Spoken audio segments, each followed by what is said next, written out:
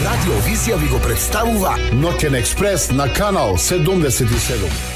За жал, кај нас институциите се поприлично затворени. Оние што се задолжени со закон, воспоставени да го следат се тотално анемични во, во овој дел и незаинтересирани, така да тоа е наш голем хендикеп кога споредуваме со, со Западот.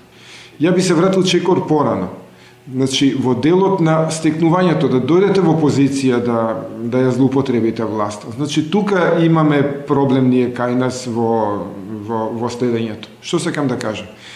А, ако вие каде се како доаѓа до стекнување на на незаконски имот со злоупотребата на функцијата. А злоупотребата на функцијата доаѓа во постапки кои се нетранспарентни, носење нетранспарентни одлуки, јавни набавки недоволно транспарентни, конкурентни, недавање отчетност и така натак. Значи, вие кога отворите тој процес на носење на одлуки, рачунете дека ќе имате се помалку можност за доаѓање на до незаконски имот, а со тоа и нели после потреба да го барате вие каде тој отишол и така натак.